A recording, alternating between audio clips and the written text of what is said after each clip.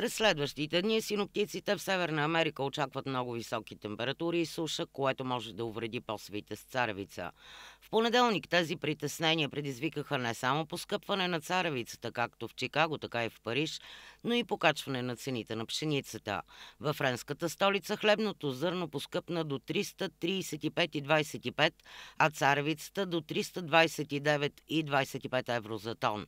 Отвъд океана цените се покачиха съответно до близо 8,13 долара за пшеницата и над 6 долара и 12 цента за царевицата.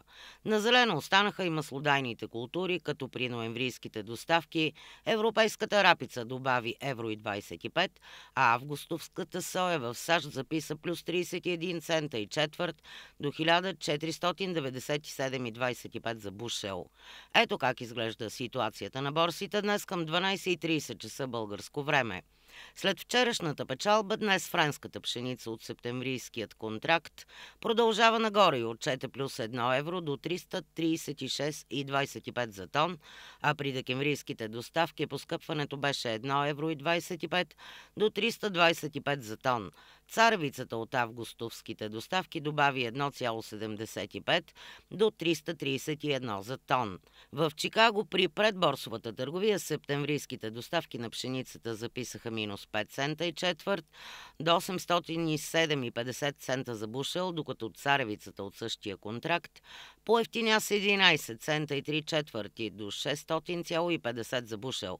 Цената на септемврийския овес се покачи с 9 цента и половина до 489,50 за бушел, а при ориза цената падна с 4 цента до 17 долара и 2 цента за 50 кг. Днес до 12 часа българско време рапицата от августовските доставки в Париж загуби 7 евро и 50 до 667 за тон, докато августовската соя отвъд океана по ефтиня с 13 цента и четвърт до 14 долара и 84 за бушел с 1,5 цента до 62,15 цента за фунт се понижи цената на соевото масло, а соевото брашно от августовския контракт. По ефтиня с 1,20 до 433,30 долара за тон. На селско-стопанската борса Фешборн един тон безмаслено сухо мляко.